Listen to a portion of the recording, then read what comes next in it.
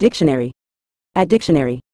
In a general sense, unenlightened refers to a state of lacking knowledge, understanding, or awareness, particularly in matters of intellect, culture, or spirituality. It suggests a condition of being uninformed, unaware, or not having achieved a higher level of wisdom or insight. Someone who is unenlightened may exhibit ignorance, closed-mindedness, or a lack of exposure to broader perspectives or deeper truths. This term can encompass various contexts, including social, philosophical, or spiritual realms, indicating a deficiency in enlightenment or the attainment of profound understanding and wisdom.